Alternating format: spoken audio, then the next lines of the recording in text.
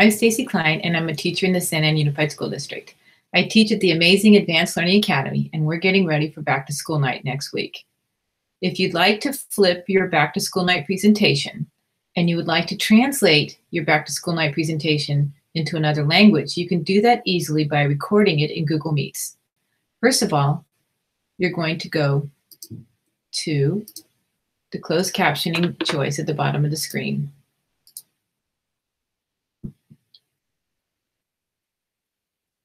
So I'm sharing my screen with you so you can see what I see.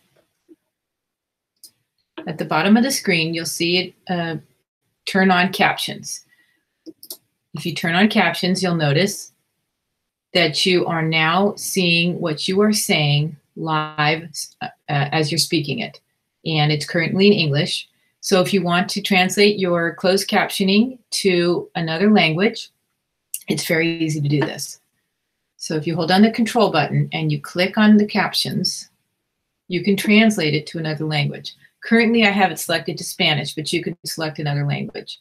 You click Translate to another language, and at the top of the screen, you'll see a box that says English or Spanish, and then you even have an option for many other languages, and you can choose another language.